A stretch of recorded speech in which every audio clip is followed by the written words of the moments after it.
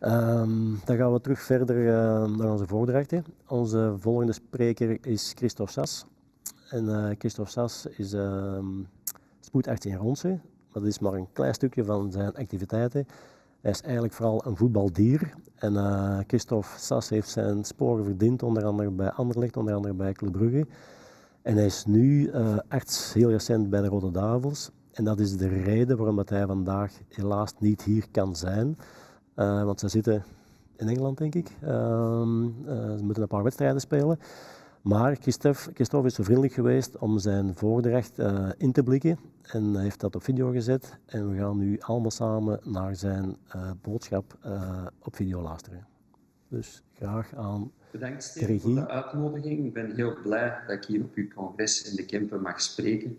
Het is weliswaar een virtuele aanwezigheid, maar ik ben als geboren en getogen Kempenaar toch blij dat ik deel mag uitmaken van het sportcongres Kempen.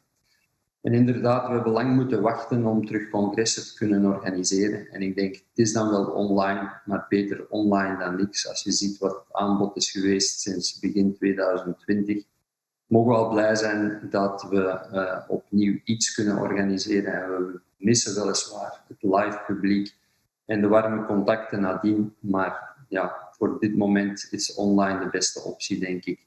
Dus ik uh, kan Steven alleen maar steunen in het verder zetten van zijn congres online dit jaar. Je hebt mij gevraagd om te spreken vandaag over tips en tricks um, in topvoetbal. En Flip, de organisator van uw congres, heeft mij gecontacteerd in verband met de titel en de aankondiging dat erbij moest komen. Want inderdaad, recent is er wat veranderd in mijn situatie en ben ik niet meer langer diensthoofd van de medische dienst van Anderlecht, maar wel teamarts van de Rode Duivels. Dus dat is veranderd. Dat is ook de reden dat ik vandaag niet aanwezig kan zijn, omdat we op het moment van het congres eh, naar Engeland reizen voor Interland van morgen. En ik denk dat een belangrijke nuance is tussen sportarts en voetbalarts. En dat is eigenlijk ook, denk ik, waarom dat Steven mij gevraagd heeft om dat toe te lichten. In die zin dat we een algemene opleiding allemaal genieten als sportarts en dat er toch specifieke noden zijn om aan de top te kunnen werken als voetbalarts. In die zin dat het zo is dat um, je perfect alle blessures, alle loads uh, kan kennen in een verschillende sporttak. Maar om te weten hoe exact een uh, speler of een atleet functioneert in zijn eigen sport, is het toch altijd nodig of zeker op zijn minst handig om veel binding te hebben met die sport. En uh, dat wil ik in mijn talk eigenlijk aantonen. Dat voetbalarts nog iets anders is als uh, sportarts. En natuurlijk, voetbalarts kun je ook opvatten als voetballer. En ook daar heb ik een binding met Herentals. Ik heb ooit in een ver verleden, in mijn jonge jaren, nog gespeeld voor KFC Herentals.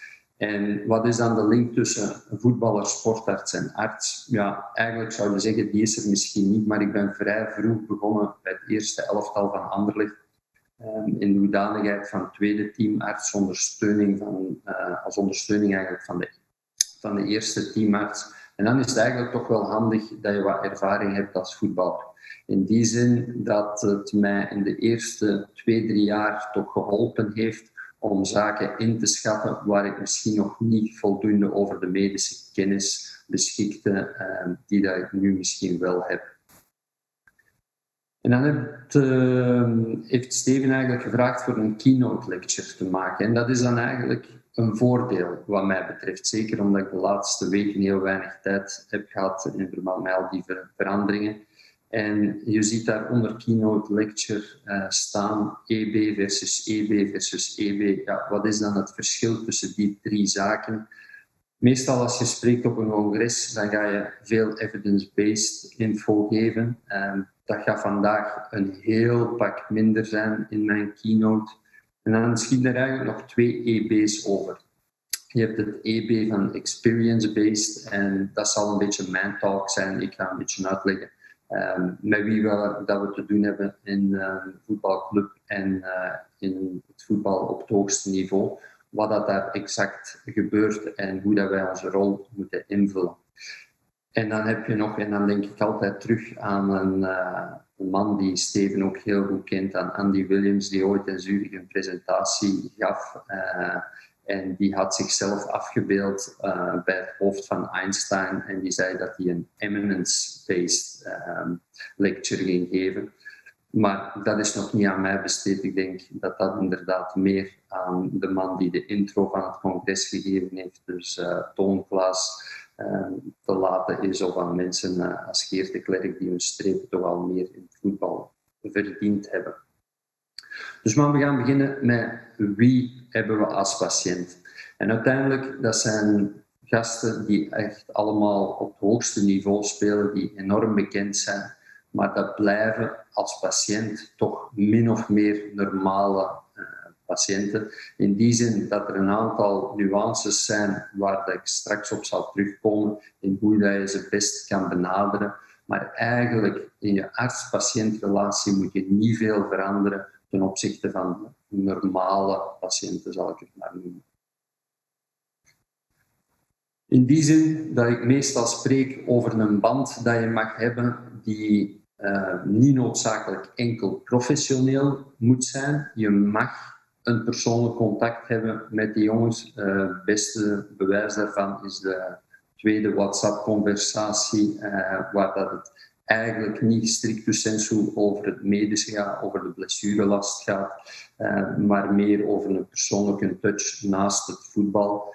Um, maar dat blijft dan toch nog wel een deel professioneel, laten we zeggen. Het is niet zo dat uh, de bedoeling is, denk ik, dat we met spelers uitgaan, uh, dat we echt op feestjes verschijnen daar zou ik mij verhoeden, want dat levert op lange termijn toch meestal problemen op. Dat hebben we bij collega's in het verleden toch opgemerkt. Maar langs de andere kant heb ik ook gezegd dat uh, ze heel dankbare patiënten zijn en in dat opzicht zijn het ook gewone patiënten.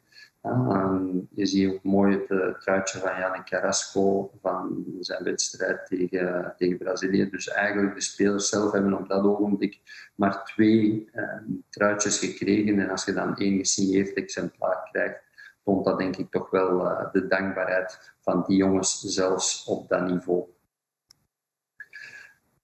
Maar als je gaat vergelijken met wat we eigenlijk doen in onze privépraktijk, waarvoor dat we eigenlijk ook opgeleid zijn tijdens uh, onze studies, dan is er toch een groot verschil als we spreken over topvoetbal. Um, het werken in een club um, vereist ook een goede omgang met verschillende invloeden. In de eerste plaats natuurlijk uh, de mensen dat je ziet in jullie rechterbovenhoek, dus de coaches. voor hun zal het altijd zo zijn ik vergis mij, voor jullie is het ook waarschijnlijk de linkerbolhoek. Um, dus de coaches. En voor hen de eerste vraag die zich altijd opdringt is: when can he play again? Wanneer is die speler terug fit? En dus de eerste vraag is niet: uh, is het erg? De tweede vraag is niet: wat is eigenlijk de diagnose of wat is je plan? De eerste vraag is altijd: hoe lang dat duren?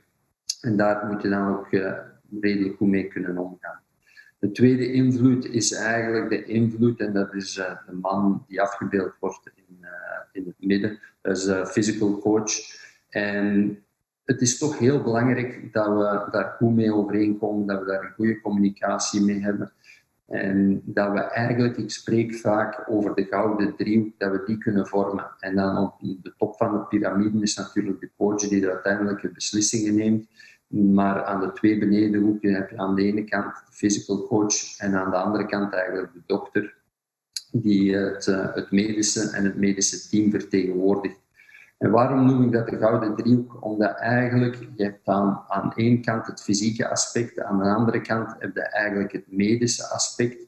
En medische gaat waken over de belastbaarheid of de load capacity. En um, het fysieke moet zorgen voor een juiste load. En die moeten op elkaar afgestemd zijn. Als die in disbalans geraken, dan gaat je ofwel overtraining krijgen met overbelastingsletsels, maar ook uh, eventueel ondertraining als we te voorzichtig zijn. En dat gaat dan uiteindelijk ook impact hebben op de performance. En dat moeten we toch trachten te vermijden.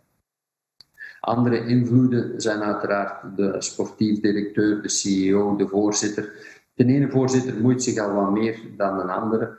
En dat maakt het niet altijd gemakkelijk. Langs de andere kant kan ik ook wel heel goed begrijpen dat je als voorzitter niet in een stadion wil toekomen en niet op de hoogte bent dat je sterspeler een dag voordien is uitgevallen op training en eigenlijk niet kan spelen.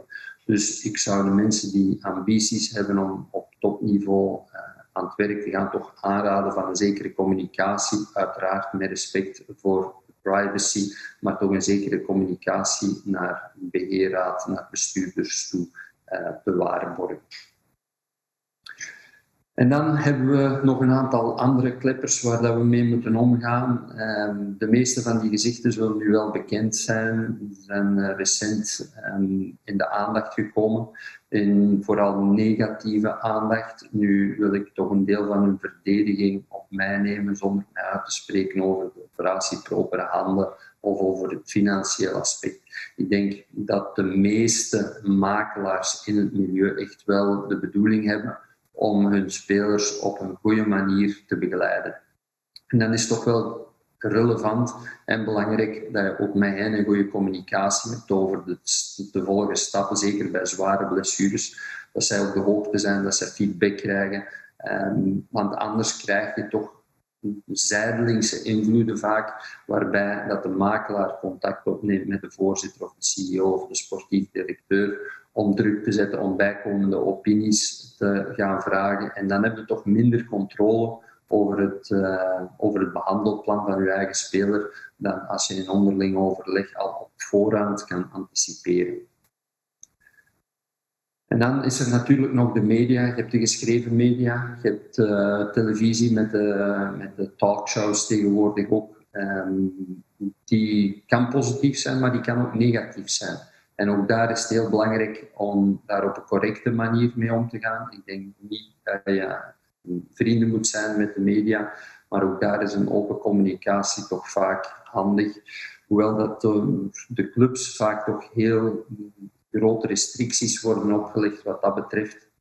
In die zin dat ze gaan zeggen van, uh, dat alle communicatie, en voor het strikt medische is dat vaak ook niet slecht, alle communicatie via de perschef uh, moet gebeuren. Maar goed, heel vaak worden daar topics uitbelicht en heel vaak resulteert dat ook in kritiek um, op medische staf, op artsen binnen clubs. En dan is het aan ons om daarmee om te gaan. Maar wij leven natuurlijk niet alleen en soms is dat wel moeilijk voor de familie, voor je partner, voor je kinderen, um, om die kritiek te accepteren, omdat zij vaak wel meer op de hoogte zijn van wat er echt gebeurt dan de mensen van de media. Mm, wat er natuurlijk in de media verschijnt, wordt dan opgepikt door het grote publiek. In het stadion valt dat meestal nog wel mee, maar op de social media kan dat dan wel eens resulteren in, uh, in stevige kritiek. Ik heb voor mezelf uitgemaakt dat ik daar ook niet naar op zoek ga en dat ik, daar, dat ik eigenlijk uh, die social media niet lees. En dat beschermt u dan wel, maar ik, uh, ik herhaal het, uh, dikwijls komt dat via via dan toch wel terecht. En dan is het belangrijk om je daardoor niet uit de boot te laten slaan. Want je ziet, als je al die invloeden samenneemt, dan worden we eigenlijk gedropt als teamarts of als hoofd van de medische dienst in een, eigenlijk een kleine jungle waar dat we onze weg moeten invinden en die dat we eigenlijk moeten managen. En dat is ook weer iets dat we eigenlijk tijdens onze opleiding weinig of niet genoten hebben. Een managementopleiding, zowel intern van uw team, maar ook naar externe communicatie toe. Dus uh, dat is eigenlijk, ja, aldoende leert men het uh, met vallen en opstaan. Maar het zou niet slecht zijn, denk ik, dat er uh, binnen de opleiding sportgeneeskunde bijvoorbeeld toch een, een topic is communicatie, zowel intern als extern. Gelukkig maken we deel uit van een team en moeten we de druk van het, uh, van het medisch team niet enkel dragen. Uh, je ziet dat er meestal in de meeste clubs een tandem gevormd wordt tussen de hoofdkine en de hoofdarts, die enorm vaak communiceren met elkaar. Uh, en dat gaat dan soms over meermaals daags, zodanig dat de arts, die vaak toch iets minder op de club aanwezig is, toch alle info krijgt van de hoofdkinedeog, alle afzonderingen doet, die vaak tot laatst op de club is en de ins en outs binnen de spelersgroep wel heel goed kent. Dan rechts op de foto zien we eigenlijk nog een recente foto van uh, twee jaar geleden. En dan zie je eigenlijk de variatie en de variabiliteit en de turnover binnen de medische teams. Uh, want van die staf die eigenlijk de dagelijkse werking uitmaakt, is de helft al uh, gewisseld. Dus waar dat vroeger eigenlijk binnen voetbalclubs de gewoonte was dat enkel de, de coach en nadien de hulptrainer vaak als team weggingen en kwamen, zien we nu toch dat er ook een, uh, een heel grote turnover is binnen de medische teams. En dat bevordert natuurlijk niet altijd uh, het vertrouwen binnen, maar ook uh, tussen de stafleden. Daarnaast hebben we nog een hele hoop medewerkers waar we vast mee, mee samenwerken. Ik denk dat de meeste voetbalclubs in de eerste plaats een vast orthopedisch chirurg hebben waar dat ze mee samenwerken. Maar gezien de verplichtingen die er uh, nu op heden zijn naar uh, cardioscreening, en hebben de meeste clubs ook wel een cardioloog waar dat ze mee in zee gaan, een tandarts voor de tandcontroles. Um, de topclubs hebben zelfs een vaste mental coach, anderen hebben vaak een losse medewerker om de mentale begeleiding te verzorgen. Voor langdurige revalidaties maken veel teams ook gebruik van bekende of minder bekende externe fysiotherapeuten. De meeste teams bestaan ook uit een diëtiste en dan uh, ook uit een radiologisch team waar daarmee samengewerkt wordt. Voor die radioloog, daar wil ik straks toch ook nog wel iets over zeggen als ik het over beeldvorming ga hebben, want dat is eigenlijk gigantisch belangrijk in onze werking. Die mensen die zijn van onschatbare waarde, maar die vullen niet altijd de noden in die daar in de topsport nodig zijn. Maar dat ga ik straks nuanceren. En natuurlijk, tot op heden zijn er mensen geweest die er uh, echt bij betrokken moesten zijn. En daarnaast hebben de figuren die dat uh, niet altijd bij hoeven te zijn. Links in beeld zien jullie uh, de welbekende Mendoza, de, de, persoonlijke behandelaar van Nicolas Frutos nu, die man heeft uh, de stempel gekregen van een beetje een bizarre persoon te zijn, een halve tovenaar. Maar eigenlijk zowel qua persoon als, als paramedicus viel dat eigenlijk wel mee. Die had inderdaad niet het gewenste diploma, maar die heeft uh, als autodidact enorm veel opge, opgestoken. Um, en die heeft dat in de praktijk gebracht. Dus ik kan daar wel respect voor opbrengen. Dus die hoort misschien niet echt op deze dia. Langs de andere kant, aan de rechterkant, de heer Troost, die de zogenaamde haptonoom, die Anderlecht ooit zou aan een titel geholpen hebben.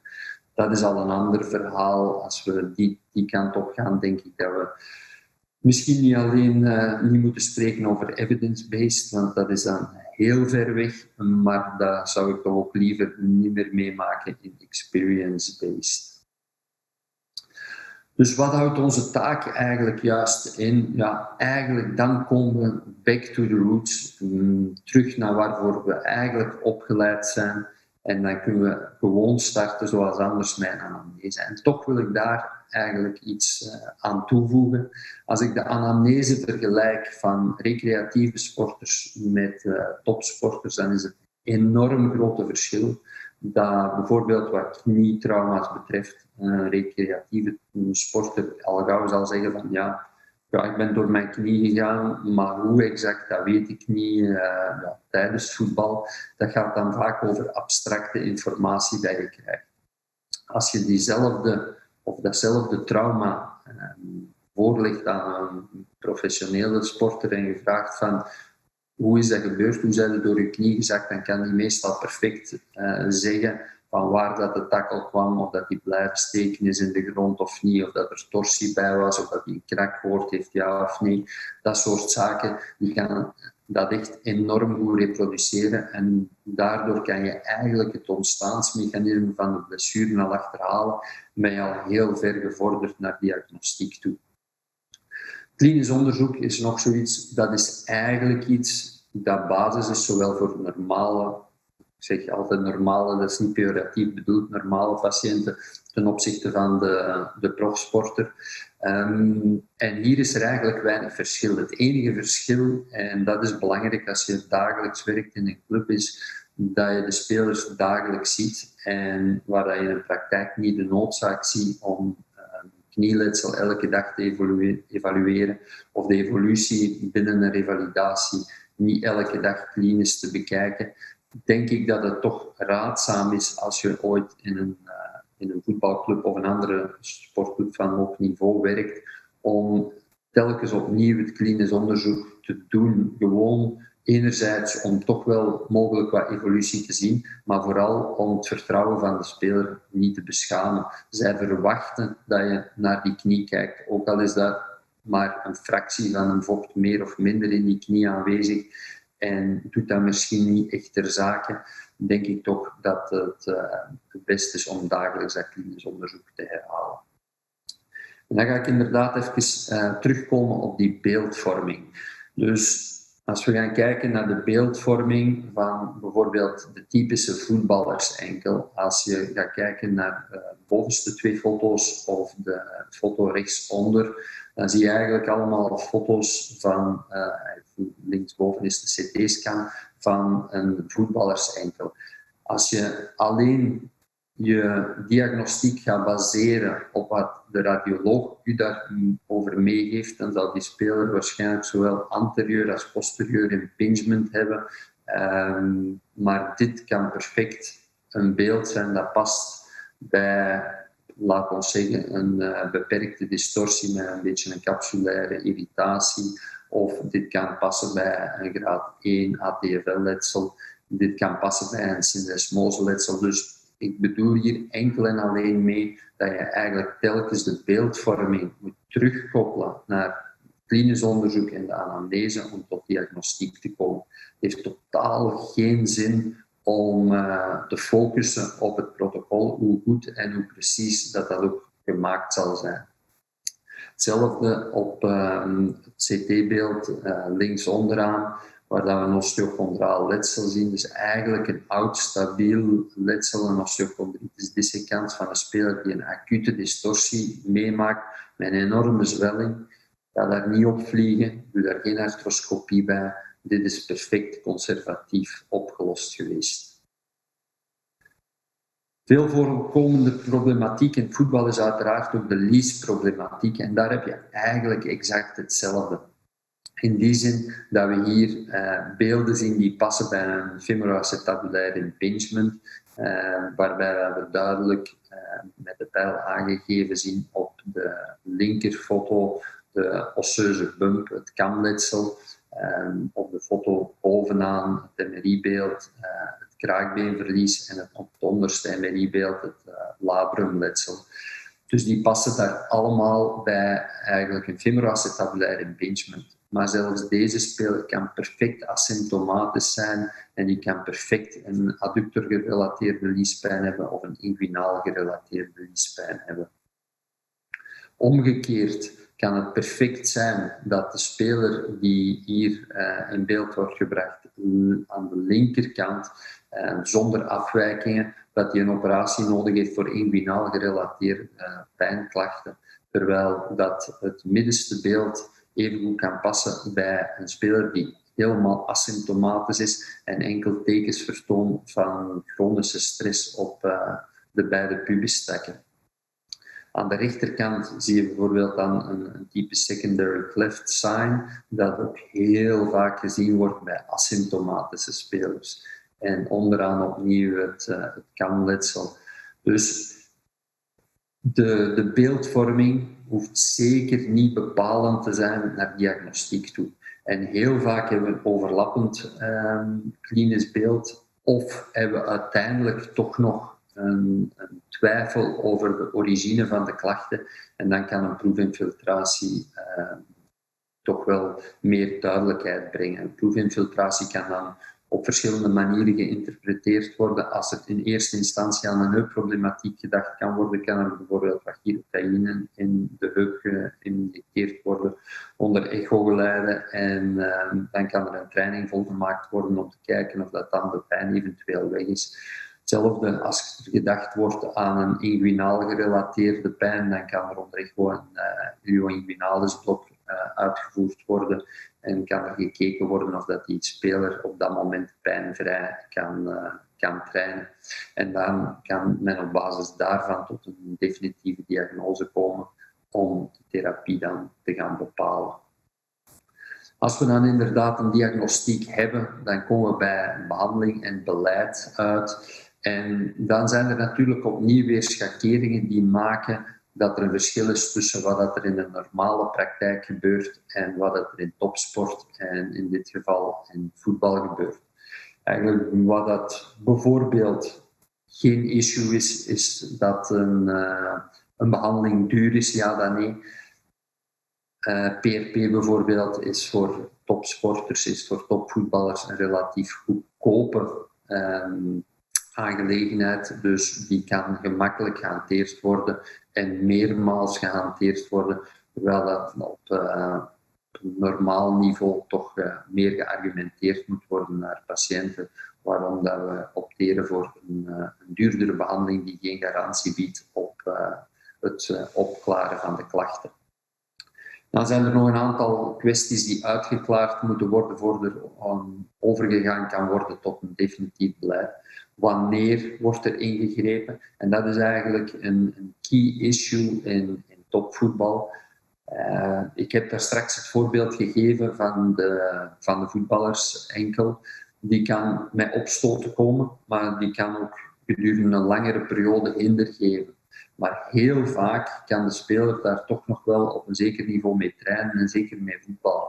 En dan wordt er meestal gekeken naar wanneer dat ideale moment is om, uh, om tussen te komen en eventueel over te gaan om die enkel wat op te kuisen en arthroscopie te doen. Heel vaak is dat na het seizoen, maar daar kunnen er ook conflicten komen natuurlijk. Ik denk aan de internationals bijvoorbeeld eh, en dan zeker dit seizoen en volgend seizoen, want we zitten nu met twee opeenvolgende jaren waarbij dat we een EK eh, e en een WK hebben, waarbij dat de internationals uiteraard ook niet graag een EK en een WK aan zich voorbij laten gaan. Dus dan wordt een beetje onderhandelen met zowel speler uh, als directie, als coachingstaf, wanneer dat we exact een, uh, een procedure laten uitvoeren. De behandelingen mogen ook gerust een innovatief karakter hebben, in die zin dat van zodra dat er eigenlijk bewezen is dat er geen adverse events zijn, dat er geen nadelige gevolgen van een behandeling zijn, hoeft het nog niet per se zo te zijn dat er evidence is voor een gunstig effect.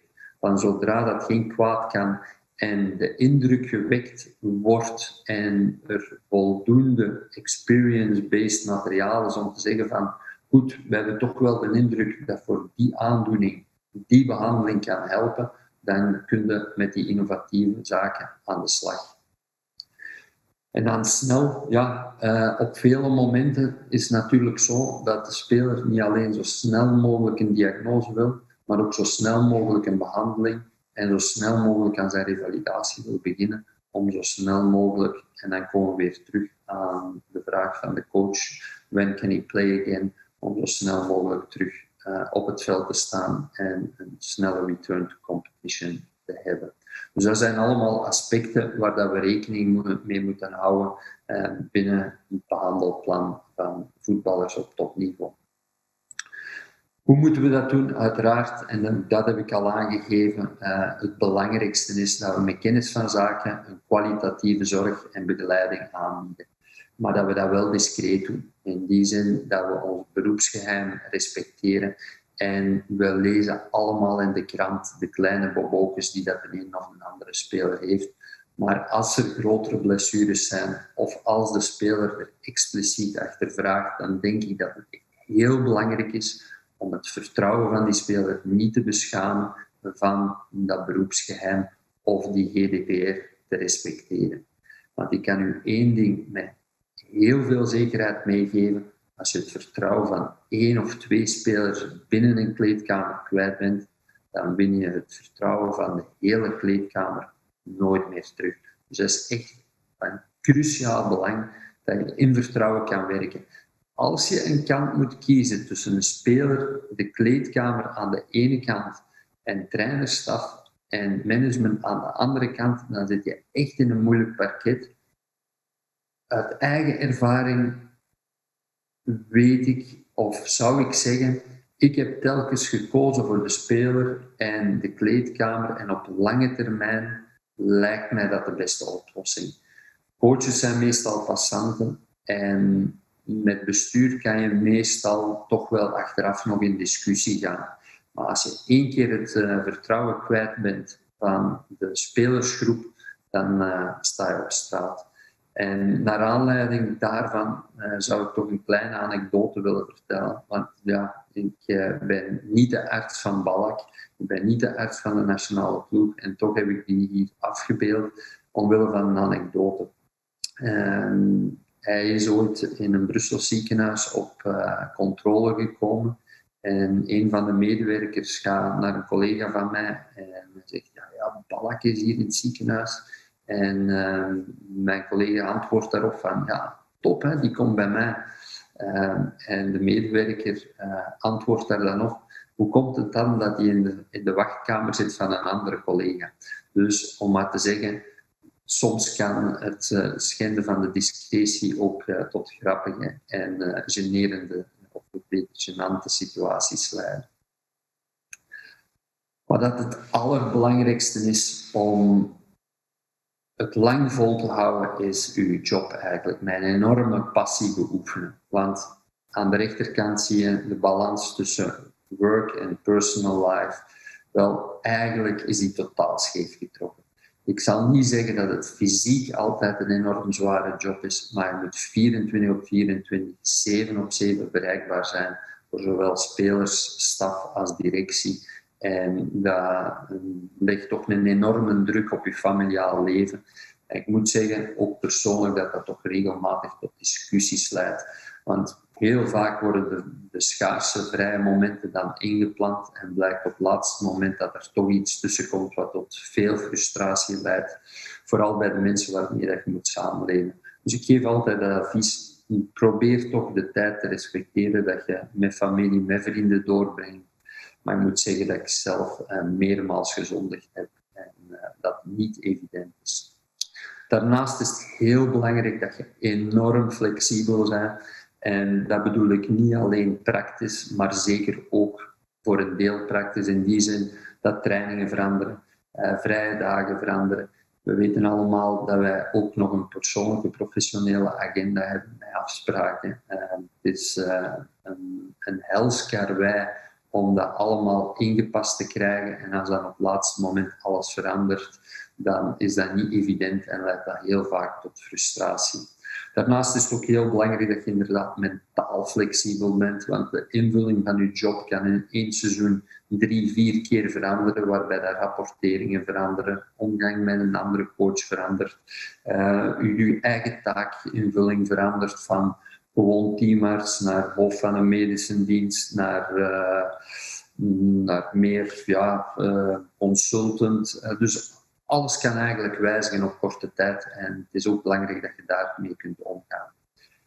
En dan wat dat moet geprogrammeerd worden in je bewustzijn als arts, dat is eigenlijk vooral alles moet snel gaan. Enorm snel gaan. Zo snel mogelijk de speler zien, zo snel mogelijk tot een adequate behandeling komen, zodanig dat de return to play en de return to competition zo snel mogelijk kunnen plaatsvinden.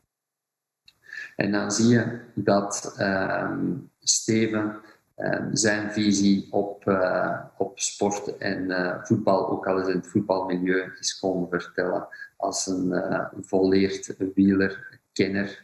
Ehm, dus er is zeker, en dat staaft dan niet wat ik in het begin gezegd heb, er is zeker overlap tussen sportgeneeskunde in het algemeen voetbalgeneeskunde daarlangs en, en andere sporten. Dus ik denk dat het ook leerrijk is om te blijven leren vanuit andere sporten. Dus ik ben blij dat ik in Herentals in het wielercentrum in België kunnen iets komen vertellen heb over voetbal. En ik ben in het verleden blij geweest dat Steve bij ons te gast was. Dus uh, bedankt allemaal ook voor jullie talrijke virtuele opkomst. En uh, de vragen zullen mij bezorgd worden en ik zal daar met veel plezier op antwoorden. Dank u. Dr. Sass zit nu in Engeland, dus we kunnen hem helaas niet beschieten met uh, onze vele vragen. Um, we kunnen alleen hopen dat onze Rode Duivels het morgen goed doen en woensdag zeker tegen IJsland. Um, we gaan nu een kleine break houden. Uh, we zitten 13 voor 11. Uh, we spreken af om 11 uur exact gaan we terug beginnen. En dan hebben we ook weer een superboeiende sessie waar wij eigenlijk de meer specifieke letsels in het voetbal uh, gaan bespreken en onder de loep nemen. We zien elkaar om 11 uur binnen 10 minuten terug. Tot zo.